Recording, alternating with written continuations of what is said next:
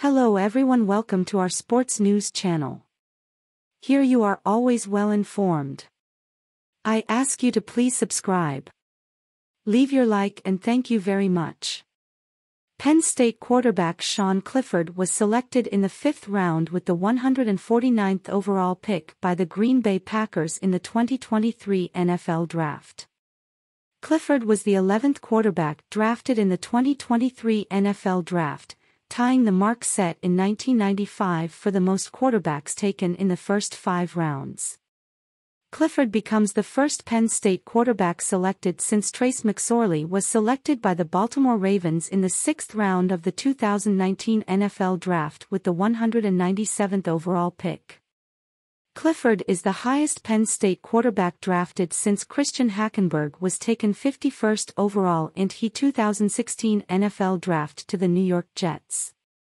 In Clifford's six-year career at Penn State, he threw for 10,661 yards, 1,073 rushing yards, 86 touchdowns, 61.4 completion percentage, and a passer rating of 143.8. Clifford broke multiple Penn State all-time records in completion percentage, completions, passing yards, passing touchdowns, and pass attempts.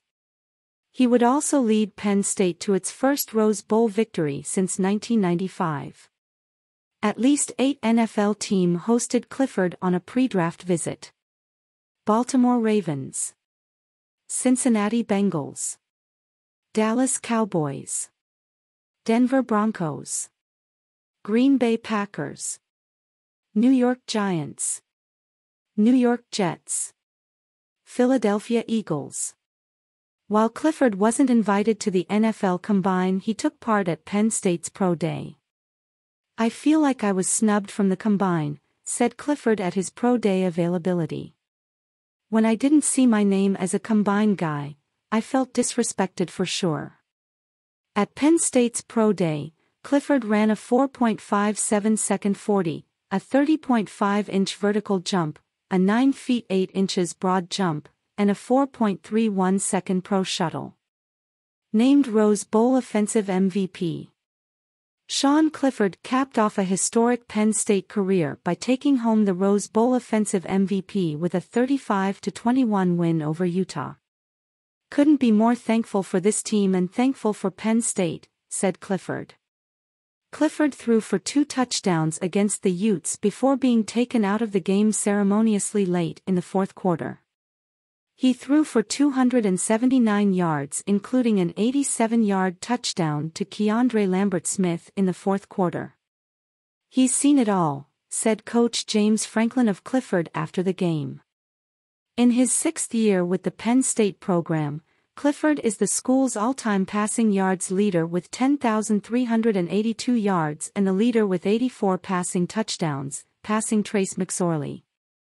During the Rose Bowl Clifford also passed McSorley for the program's all-time leader in total offense.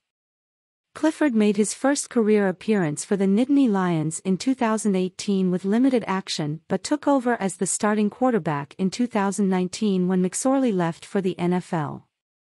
I just hope they, know, I left a lasting legacy of leadership and commitment to team, that's really what I set out to do from day one, said Clifford when asked what he hopes his legacy will be in the 129-year history of Penn State football. The 2023 NFL Draft begins on Thursday, April 27 through Saturday, April 29 and will air on ABC 27 starting at 8 p.m. on Thursday night. The second round starts at 7 p.m. on Friday and the final rounds begin at 12 p.m. on Saturday.